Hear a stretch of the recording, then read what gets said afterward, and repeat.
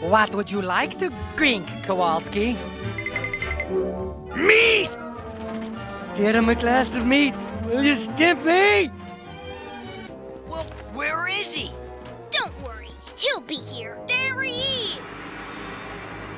So, Arnold, you decided to show up. For the winter.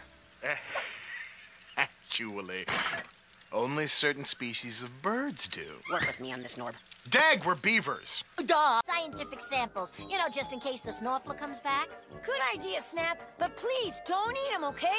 We really need to analyze the chip to crumb ratio. Where are we supposed to go?